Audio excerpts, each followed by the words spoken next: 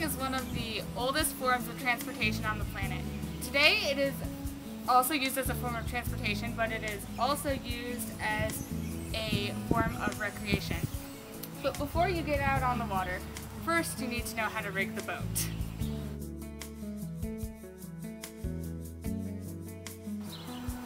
The first step to getting your boat out is getting it out of winter storage.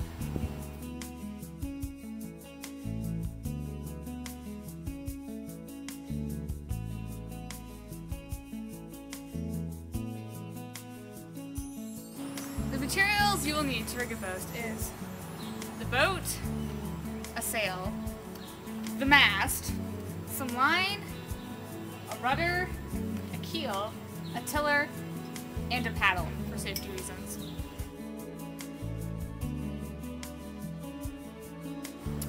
The first thing you're going to want to do is back up your boat so the back half is in the water, like so.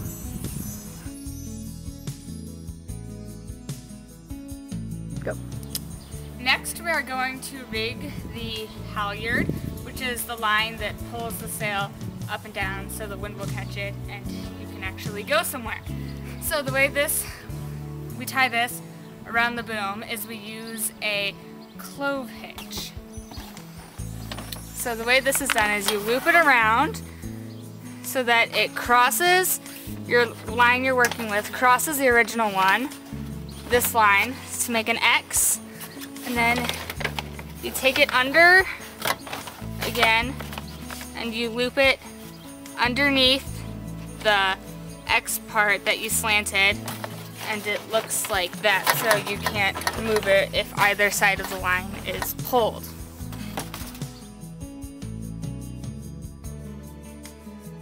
Next we're going to take the other side of our main halyard line and loop it through the top of the mast in this hole right here. So we're going to take this, loop it through the hole, and then we're going to take the mast and stick it through this ring on the bottom boom and into this hole.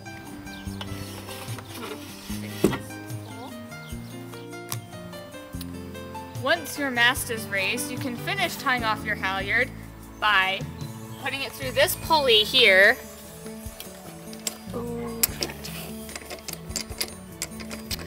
Like so, and then doing a stopper knot so your halyard doesn't go flying out of your pulley. The way you do a stopper knot is you make an eight over, under, and then you go through your top loop. And that's a stopper knot. It stops it pretty effectively. Next, we're going to rig the main sheet, which allows the sail to move back and forth. You're going to have to get a little wet, get the water, and go to the back of your boat.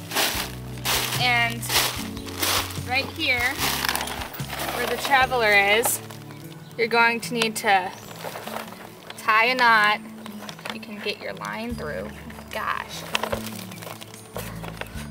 Once you get the main sheet through, you're going to want to do a bowline knot to help it stay. And you do that knot by forming a loop and then taking this end under, around, and back through your original loop. And then you tighten it. And then you take the other end, which is forever away. We are. And you loop it through this pulley right here. And then you go around and you loop it through this one over here. And then you tie a stopper knot so that your sail doesn't fly out of your boat. It's very scary and bad. I wouldn't recommend it. Don't try it. I've done it before. It doesn't end well. And that's your main sheet.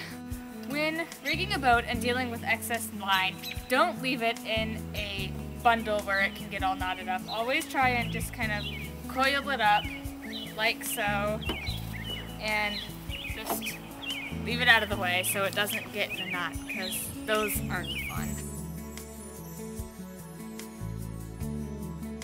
Next, I'm going to rig the rudder onto the stern of the boat, and this will help us steer.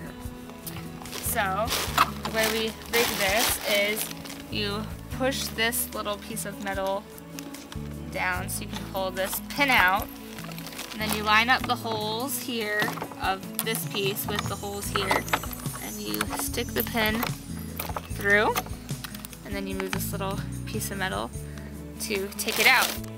Next, we're going to take the tiller, which helps us steer the rudder from that seat. It's a long distance, so we, my arm isn't that long, I don't know about you, but I need this to help me reach.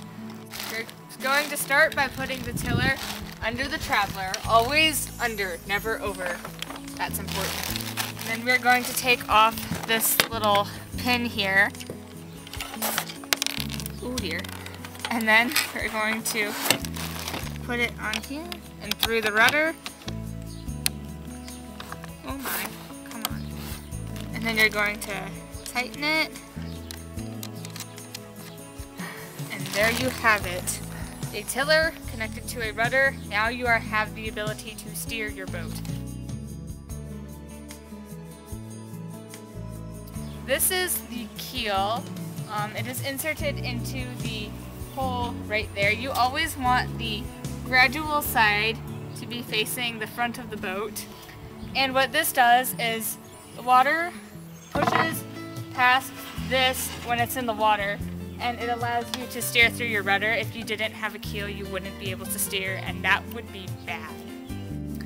This is also used so that if you capsize your boat, you can swim around and stand on it on the other side and it will flip your boat back over and then you can just climb back in and go sailing again. And it's wonderful. I love this little thing. It is always wise to bring a paddle on board in case the wind dies and you are stuck in the middle of a lake. This way you can get home. When you are done rigging your boat, all you need to do is raise your sails. Once your sails are raised, you can either plunder the seas or just sail around to have fun. Either way, there are many activities that can be done on a sailboat. Once you have finished rigging your boat, you can raise your sails and set course for high adventure on the high seas and plunder all you want. Your piratiness.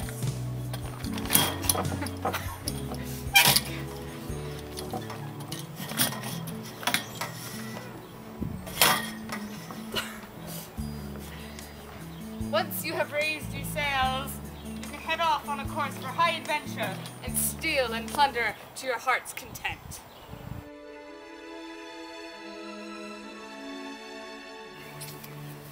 After four weeks of traveling through wind and rain and storms and facing those cannibals, still no treasure. What is that I see? Treasure! Treasure! Ah!